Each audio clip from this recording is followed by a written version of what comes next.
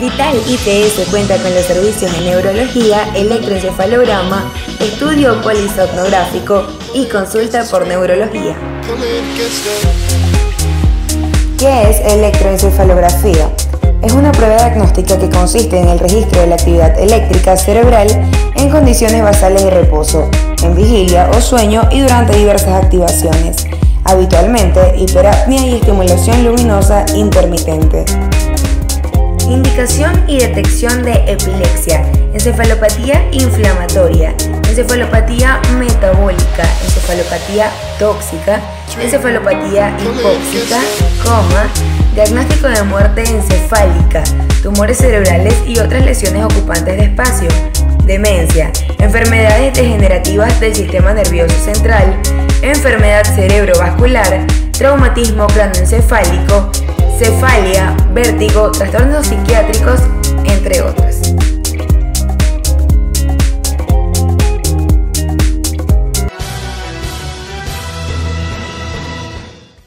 La dirección del Hospital San Vicente de Arauca en los próximos días le abonará algunos salarios de algunos meses a los trabajadores. Dicen que la CPS les debe más de 28 mil millones de pesos. La dirección del Hospital San Vicente de Arauca se reunió con los trabajadores del centro asistencial que se les adeuda algunos meses de salario. En los próximos días se le cancelará un mes de estos salarios. Tuvimos una reunión eh, con, los, con los funcionarios eh, de planta y de contrato, eh, expresando algunas inquietudes, obviamente, y de manera principal el tema de los honorarios, Carlos, del personal de contrato.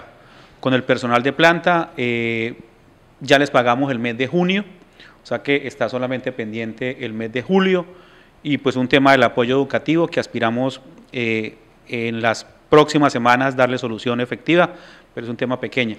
Con el personal de, contrato, como lo he venido mencionando eh, en los diferentes espacios, tenemos dificultades con el tema de pagos, vamos más atrasados.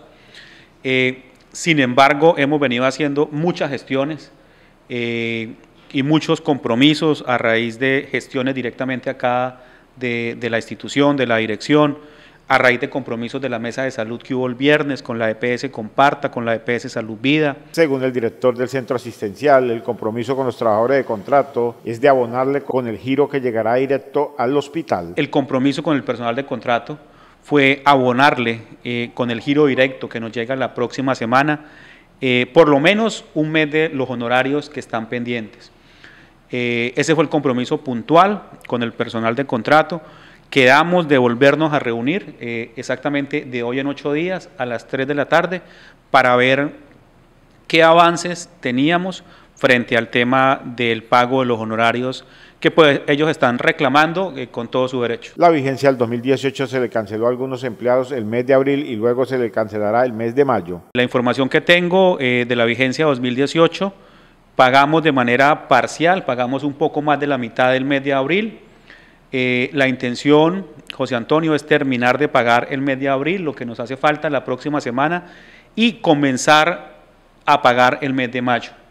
Entonces sí con ellos estamos más atrasados, lo reconozco, pero hemos hecho muchas acciones, como les explicamos a ellos en la reunión que sostuvimos con las EPS Comparta, Salud Vida, Café Salud, eh, hoy tuvimos una reunión muy importante esta mañana en la unidad de salud, diferente a la del día de ayer, con una funcionaria del Ministerio de Salud sobre el pago de la cartera a venezolanos. Eh, hay muy buenas expectativas del tema del pago de la cartera de venezolanos.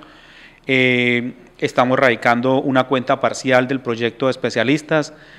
entonces estamos trabajando, buscando los recursos para abonarles lo que más podamos al personal de contrato en el transcurso del mes de agosto. Según el director, por el momento hay un preliminar que les llegaría por un valor de mil millones de pesos. En este momento hay un preliminar que nos confirmaron ayer desde ADRES.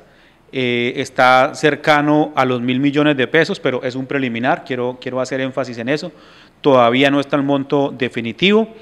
Eh, nos confirmaron que el día viernes nos daban el monto definitivo eh, y pues nos toca esperar, pero como mínimo es un giro cercano a los mil millones de pesos en este momento. En este mes la dirección del hospital tendrá que rendir un informe ante el Ministerio de Salud. Vamos trabajando, eh, hemos venido avanzando en los recursos eh, para la utilización de los recursos del FONSAED.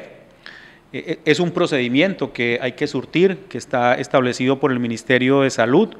Hemos estado ya en dos reuniones con el Ministerio de Salud en la ciudad de Bogotá, en una capacitación técnica eh, por teleconferencia y estamos ya finiquitando ese proceso para poder acceder a utilizar esos cerca de 4.200 millones que están en las cuentas del FONSAED eh, aquí en la unidad de salud. Las EPS le adeudan aproximadamente unos 28 mil millones de pesos al Hospital San Vicente de Arauca por prestaciones de servicios.